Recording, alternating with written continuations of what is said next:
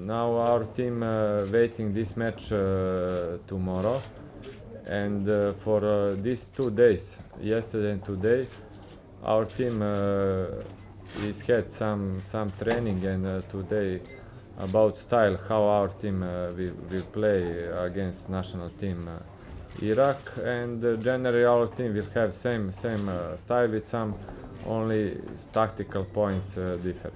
مجموعة الثالث صراحة من اللي يملكونها طبعا منتخب العراق والسعودية I think the Iraqi team is the most settled team in the group after winning a very important three points against Saudi Arabia.